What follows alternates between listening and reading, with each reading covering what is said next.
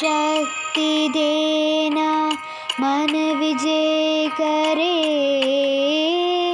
हमको मन की शक्ति देना मन विजय करे।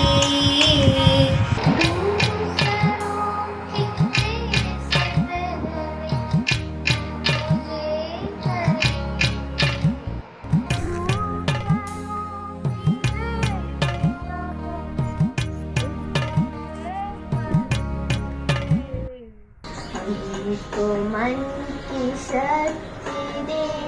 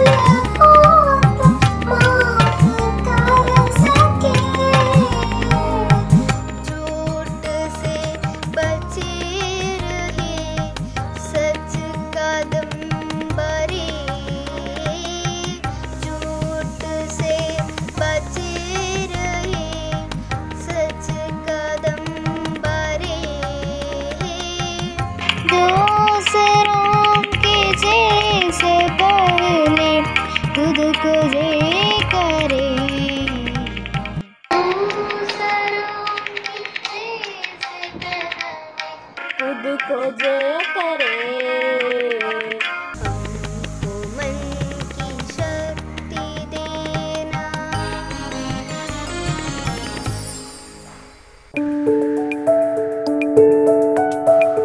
India is my country. All Indians are my brothers and sisters.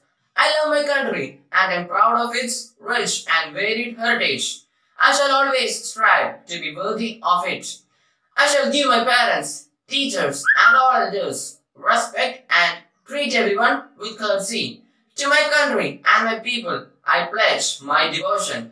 In their well-being and prosperity alone lies my happiness. This unique Republic Day, I pray and wish that we each of us should take the responsibility to protect the constitution of our country and become responsible, committed citizens who will uphold equality and brotherhood in our country. Let our country rise in its beauty of nature and varied culture. Happy Republic Day. A warm greetings to all of you. On this Republic Day, let us think of our leaders who inspire us to greatness with their life of freedom, with responsibility and dedication. Their values become our values, their hopes becomes our hopes, and we owe so much to them and salute them from the bottom of our hearts. Let us contribute to our country for a better living with responsibility to create a society of peace and justice. Happy Republic Day.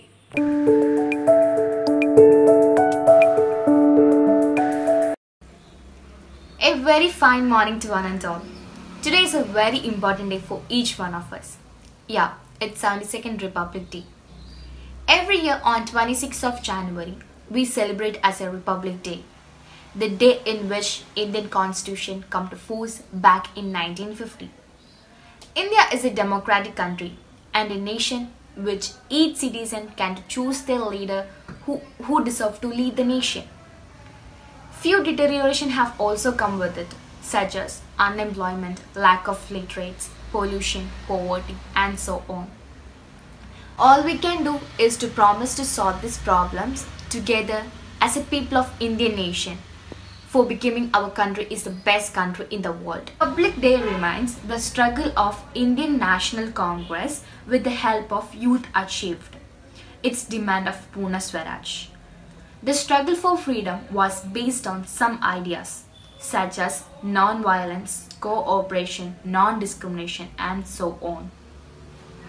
Declaration of Indian Independence, Purna Swaraj, who proclaimed by the Indian National Congress, proposed by dominant status offered by the British regime. So, on this auspicious day, let's pray for our country's well-being. And as a proud Indian, let's make our country is the best country in the world. Thank you and have a great day. A nation's culture resides in the heart and in the soul of its people. A very happy Republic Day to one all. I'm Lakshmi here to speak about the importance of Republic Day. So first, let us know what does the word republic mean. Republic means a state in which the supreme power is held by the people and their elected representatives, which has an elected or a nominated president rather than a monarch. So usually on Republic Day, we have flag hoisting ceremonies and parades by armed forces and children held in different parts of the country. The most important among this parade is held at Rajpath in New Delhi, which reflects our country's rich cultural heritage and military prowess. One of the main functions of this Republic Day parade is to pay tribute to the martyrs who have sacrificed their life for our country and to confer bravery awards on military persons, citizenry, and children for showing courage on the face of adversity.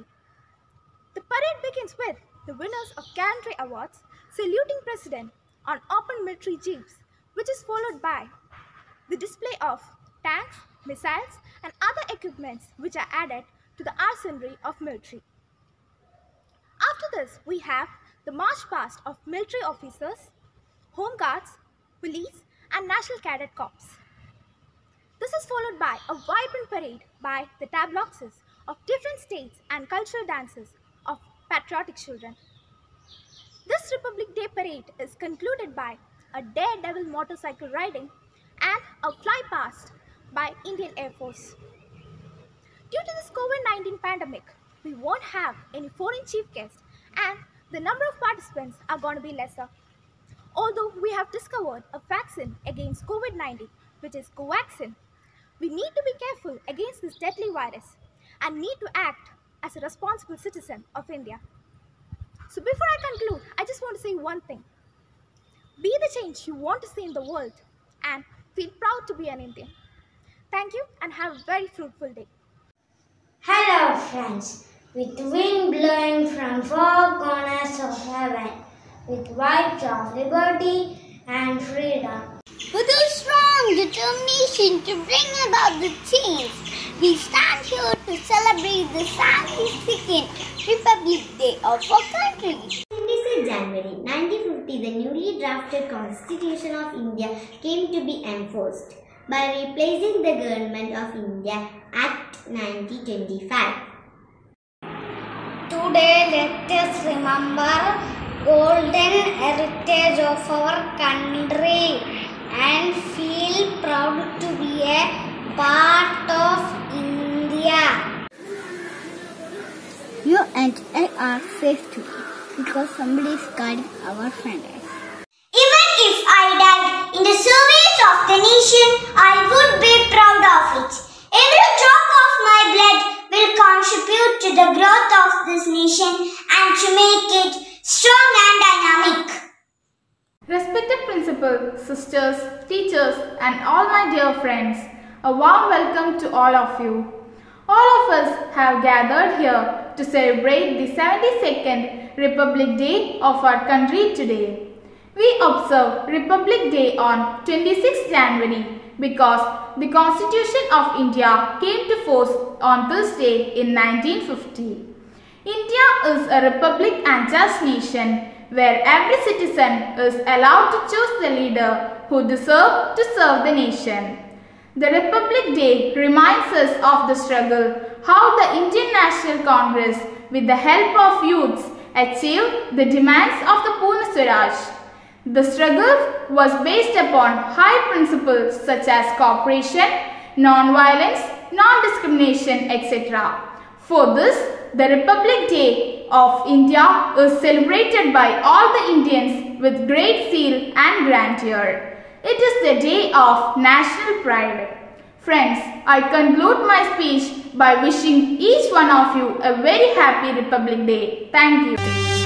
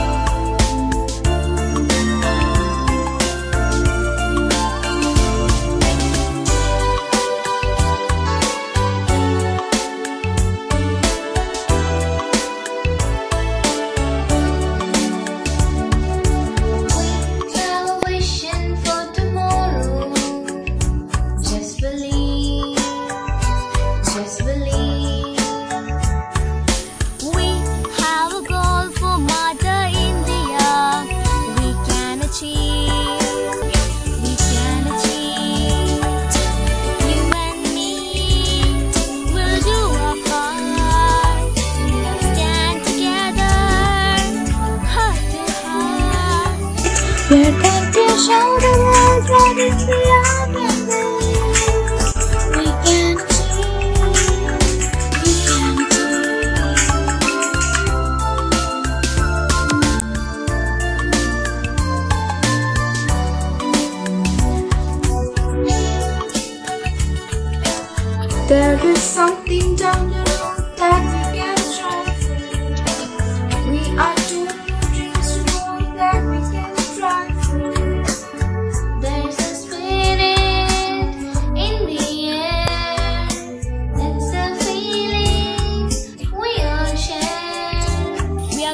Show me.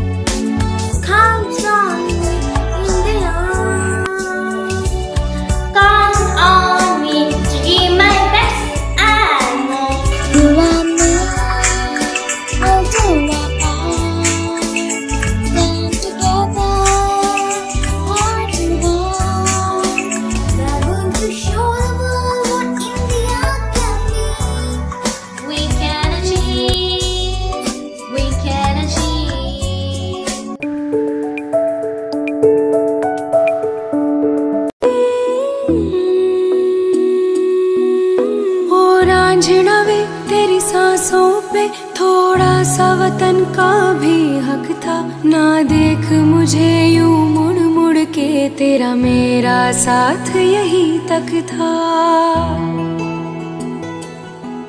ये तेरी जमी तेरे खून से ही तो सजती सवरती है राझे। तेरे इश्क की मैं हकदार नहीं, तेरी हीर तो धरती है राझे।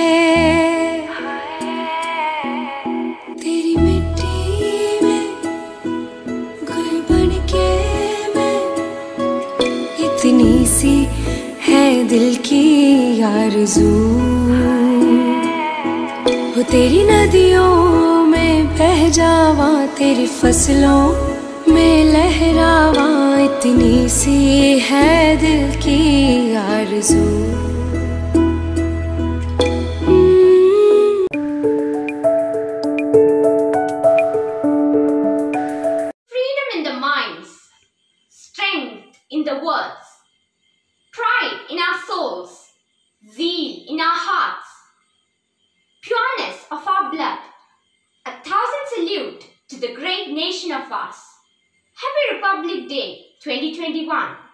myself Gayatri Anu of 9th B. On this special day, I would like to take a documentary on the topic India at a Glance 2021 where the mind is without fear and the head is held high, where knowledge is free and the world is not broken up to fragments. These are the lines written by Rabindranath Tagore but the question is, are we really without fear? Is knowledge free? Is the world not fragmented? India is a country blessed with talented people, natural resources, a functioning democracy, and an appetite for growth and development. However, have we arrived? Not yet. Today, the first point I'd like to discuss is about the power abuses of the Indian society. India is blessed with several natural resources than any other countries like Singapore, Japan, South Korea, etc. is still far behind economically than any of these countries. Indian author Arundhati Roy wants the world to know that her country is under the control of its largest corporations. Wealth is concentrated in the hands of fewer and fewer, says Roy. These few corporations now run the country. In some ways, they run the political parties, and hence they run the media. Secondly, one of the biggest issues faced by the people in the Indian society is the discrimination based on caste, creed, religion, etc. Time for us to introspect what is wrong with our society.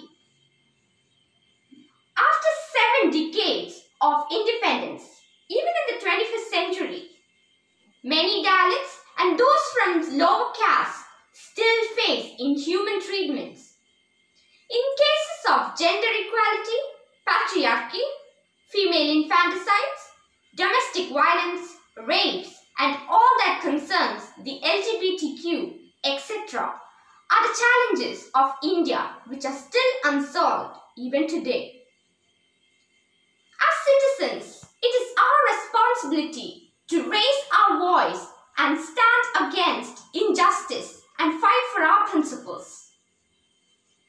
Next, one of the biggest threat of our society is crime and corruption. Corruption is like a plague that has become widespread. In the past, corruption was limited to the police and the revenue departments. But today, corruption has spread to every arena including education, health, sports, religious institutions, etc. Corruption has led to the lack of humanity and compassion. For instance, there are cases reported that the food supplies being diverted to the black market during floods and famines instead of reaching the victims. It's very disappointing that even after taking thousands and thousands of measures, the rate of corruption and crime has not been decreased. As responsible citizens, it is our duty to stand for justice and say no to corruption. Last point is the question of democracy and the freedom of expression. Several factors are very necessary for a healthy society. Some of them are vision, mission, and objective. It is the birthright of every person to receive respect, no matter what religion, gender, caste, or creed you belong to. Vision, on the other hand, is to achieve freedom through education and justice. Objective is to ensure good governance through good laws and good people. According to our constitution, it is the right of every citizen to express their emotions and opinion, to receive and impart information without interference. However, we must argue to protect the rights, the reputation, and the freedom of other people as well as their private lives. But unfortunately, we are chained. To conclude, let us join our hands to build the foundation of a prosperous future. Let us propel our nation towards success.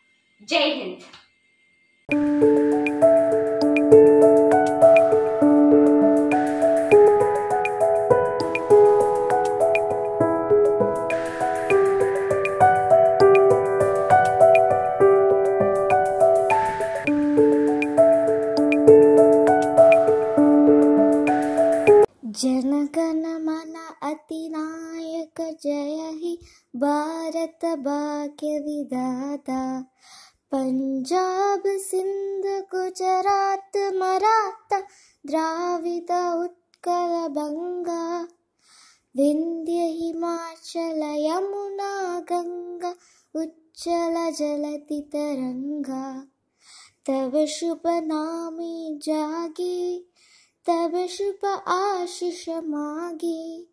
गाहे तव जय गाज। जनगण मङ्गलदायक जय हि भारत भाग्यविदादा। जय हि जय हि जय हि, जय जय जय जय हि।